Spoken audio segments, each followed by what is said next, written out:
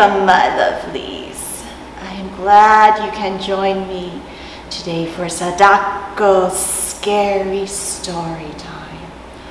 I am your hostess, Sadako. Let this be a warning that the story may be too frightening for young children. So now is the time to change the channel.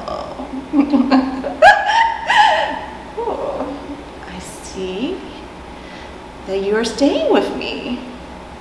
You have been warned. We are not responsible for any nightmares or your actions from hearing this story.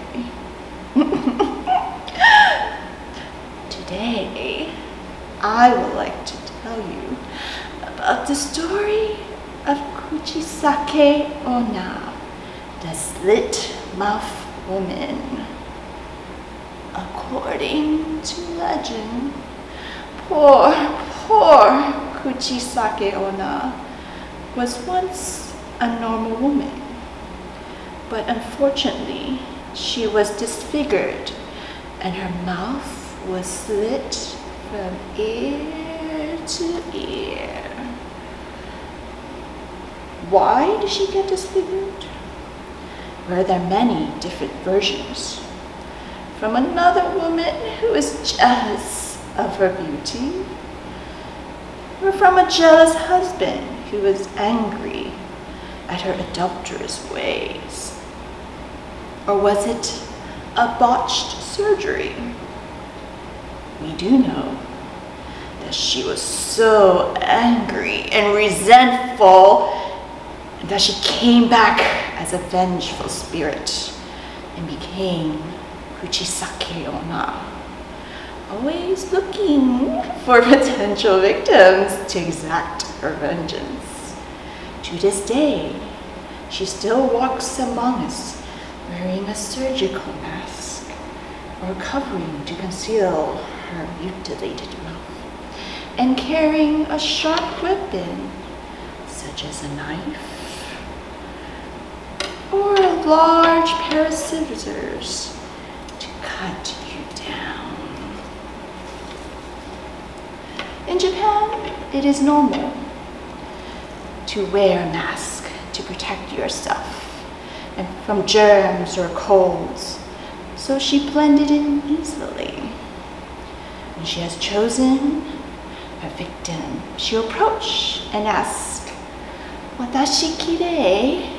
Am I pretty? If you say no, then she'll kill you.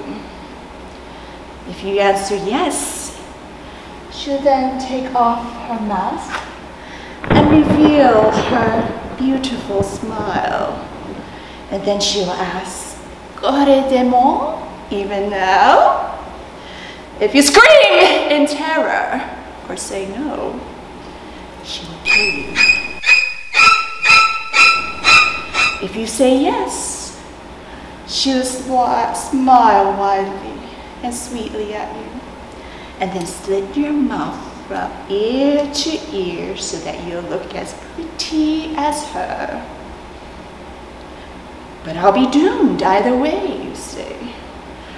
Well, here are two secret tactics to get away from Kuchisake Onna.